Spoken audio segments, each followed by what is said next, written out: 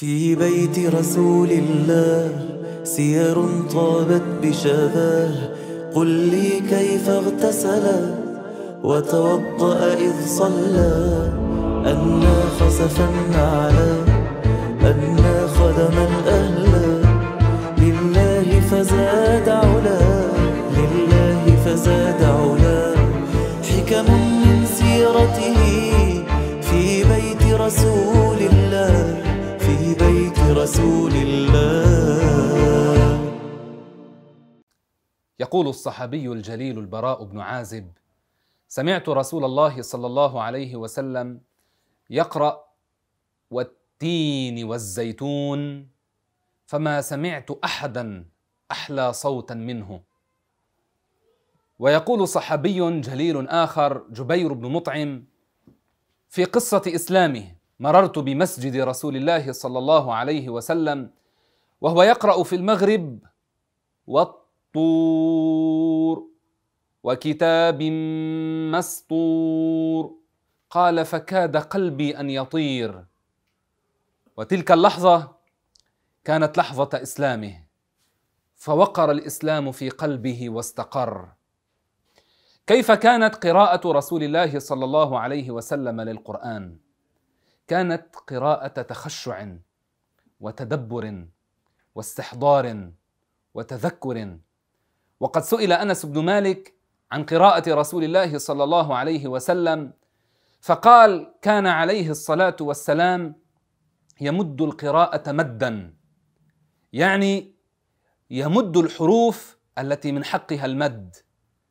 فيقول بسم الله الرحمن الرحيم يمد لفظ الجلالة الله ويمد الرحمن ويمد الرحيم وهذا يعينه على التدبر والتفكر والتذكر وعلى تذكير من يتذكر. وقد كان نبينا عليه الصلاة والسلام يحب الوقوف على رأس الآيات فيقرأ بسم الله الرحمن الرحيم فيقف. الحمد لله رب العالمين فيقف. الرحمن الرحيم فيقف. مالك يوم الدين فيقف. إلى آخر ذلك. وقد سئلت السيدة عائشة رضي الله عنها وأرضاها هل كان يسر رسول الله صلى الله عليه وسلم في قراءته أم كان يجهر؟ فقالت كل ذلك كان يفعل. وكذلك كان النبي عليه الصلاة والسلام يحب سماع القرآن من غيره. فهذا عبد الله بن مسعود قال له النبي عليه الصلاة والسلام مرة اقرأ علي القرآن. فقال يا رسول الله أقرأه عليك وعليك أنزل. فقال أحب سماعه من غيري. فقرأ سورة النساء حتى وصل إلى قوله تعالى فكيف إذا جئنا من كل أمة بشهيد وجئنا بك على هؤلاء شهيدا. فقال حسبك. قال فرأيت عيني رسول الله تذرفان بالدمع. كما جاء النبي صلى الله عليه وسلم عند أبي بن كعب وهو أقرأ صحابة رسول الله صلى الله عليه وسلم للقرآن. فقال أي قال النبي لأبي بن كعب إن الله يأمرني أن أقرأ عليك لم يكن الذين كفروا. أي سورة البينة. إن الله يأمرني أن أقرأ عليك.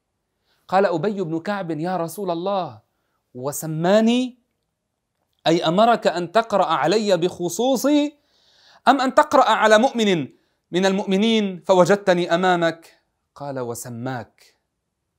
فصار أبي بن كعب يبكي.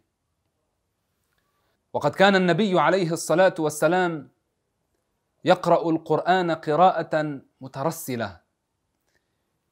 يخرج الحروف من مخارجها ويأتي بأحكام التجويد على وجهها بل ومنه أخذت وتعلمت الأحكام. والنبي عليه الصلاة والسلام كان يقرأ في كل أحواله قائما وقاعدا وكان عليه الصلاة والسلام يستعيذ بالله من الشيطان الرجيم في أول قراءته فيقول أعوذ بالله من الشيطان الرجيم.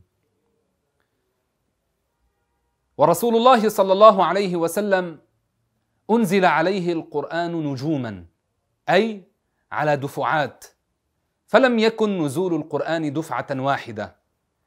إنما كان نزوله دفعة واحدة من اللوح المحفوظ إلى السماء الأولى إلى بيت يقال له بيت العزة. نزل القرآن أي أنزله جبريل من اللوح المحفوظ إلى السماء الأولى في ليلة القدر وكانت آنذاك ليلة الرابع والعشرين من رمضان. وهذا معنى قوله تعالى انا انزلناه في ليله القدر. وبعد ذلك صار جبريل ينزل على رسول الله صلى الله عليه وسلم بالقرآن دفعات نجوما. والرسول عليه الصلاة والسلام يتعلم القرآن من جبريل علمه شديد القوى. وقال الله تعالى انه لقول رسول كريم. ذي قوة عند ذي العرش مكين مطاع ثم أمين. إنه لقول رسول كريم أي إنه لمقروء رسول كريم وهو جبريل عليه السلام. فجبريل لم يؤلف القرآن ولا محمد ألف القرآن.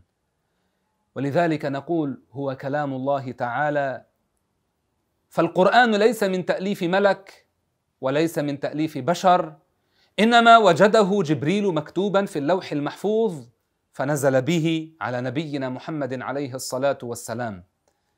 وكان النبي عليه الصلاة والسلام يأتيه الوحي بطرق متعددة. منها ما كان يحصل من النبي عليه الصلاة والسلام عندما يؤخذ. كان النبي عليه الصلاة والسلام يغفو إغفاءة الوحي وهذا ليس نوما فالقرآن نزل يقظة كان الرسول عليه الصلاة والسلام يؤخذ فكان تقع يده على الأرض ويتصبب عرقا في اليوم الشديد البرد. فأنس بن مالك يقول كان بيننا رسول الله صلى الله عليه وسلم إذ أغفى إغفاءة الوحي يعني أخذ وإلا فإن القرآن نزل يقظة كما قدمنا. أغفى رسول الله صلى الله عليه وسلم إغفاءة. ثم رفع رأسه متبسما. فقلنا ما يضحكك يا نبي الله؟ فقال أنزلت علي انفا سورة. بسم الله الرحمن الرحيم. إنا أعطيناك الكوثر. إلى آخر السورة. فرسول الله صلى الله عليه وسلم علم أمته القرآن. علمهم تلاوة القرآن وعلمهم كيف يقرأ القرآن. فكانت الأمة تعلمت من النبي عليه الصلاة والسلام فعلم الصحابة من بعدهم ومن بعدهم علم من بعدهم إلى أن وصل إلى يومنا هذا قراءة رسول الله صلى الله عليه وسلم للقرآن. والقرآن معجزة رسول الله صلى الله عليه وسلم. المعجزة العظمى أكبر معجزات النبي عليه الصلاة والسلام فهي المعجزة المستمرة إلى يومنا هذا. أعجزت الفصحاء والبلغاء. أعجزت العرب العرباء. أعجزت الإنس والجن. والله تعالى يقول في القرآن الكريم قل لئن اجتمعت الانس والجن على ان ياتوا بمثل هذا القران لا ياتون بمثله ولو كان بعضهم لبعض ظهيرا. فالنبي عليه الصلاة والسلام تحدى البشرية جمعاء أن تأتي بمثل هذا القرآن ولم ولن يأتوا بمثله. فلذلك كان معجزة مستمرة مع أنه رجل أمي لا يقرأ المكتوب ولا يخط بيده. والنبي عليه الصلاة والسلام يقول مثل المؤمن الذي يقرأ القرآن كالأترجة.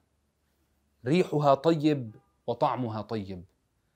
ومثل المؤمن الذي لا يقرأ القرآن كالتمر طعمه طيب ولا ريح له. فينبغي علينا في شهر القرآن أن نكثر من تلاوة القرآن وأن نقرأه كثيرا. إن لم نكن تعلمنا فينبغي أن نتعلم. ومن كان تعلم فينبغي أن يعمل. ومن كان يحسن قراءة شيء من القرآن فليكرره. فهذه سورة الإخلاص. يقول فيها رسول الله صلى الله عليه وسلم إنها تعدل ثلث القرآن. فلماذا لا تكرر؟ لماذا لا نكرر سورة الإخلاص مرارا وتكرارا في يومنا؟ فهذه تلاوة للقرآن. والنبي عليه الصلاة والسلام يخبرنا أن بكل حرف من القرآن عشر حسنات والله يضاعف لمن يشاء. ويقول عليه الصلاة والسلام لا أقول ألف لام ميم حرف ولكن ألف حرف ولام حرف وميم حرف. ومعنى قولنا إن سورة الإخلاص تعدل ثلث القرآن أن معاني القرآن تشتمل على ثلاثة توحيد وعقيدة فقه وأحكام وقصص ومواعظ. واشتملت سورة الإخلاص من أولها إلى آخرها على التنزيه والتوحيد. ولذلك كانت ثلث القرآن فثوابها عظيم. نسأل الله تبارك وتعالى أن يجعلنا من التالين لكتابه من القارئين الخاشعين المتدبرين. إنه على ما نسأله قدير وآخر دعوانا أن الحمد لله رب العالمين.